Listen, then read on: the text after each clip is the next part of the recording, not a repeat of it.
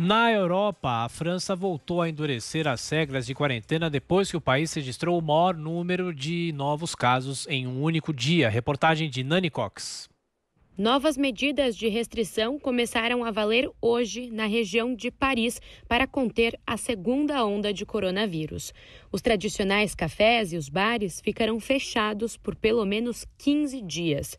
Neste período, restaurantes podem funcionar, mas com capacidade limitada. Shoppings e lojas de departamento também devem reduzir o número de clientes. Festas, feiras e exibições estão proibidas e clubes e academias ficarão fechados.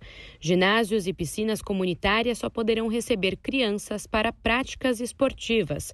As universidades, eventos culturais e esportivos em ambientes abertos devem funcionar com no máximo 50% da capacidade. O governo francês pediu que as pessoas optem pelo trabalho remoto sempre que possível. A associação que representa estabelecimentos como cafés, bares e hotéis alertou que 33 mil empresas correm risco de falir por causa das restrições, o que pode levar a 250 mil desempregados. As medidas serão reavaliadas pelas autoridades francesas em 19 de outubro. No último sábado, a França registrou cerca de 17 mil novos casos de coronavírus em apenas um dia, o maior número desde o início da testagem em massa.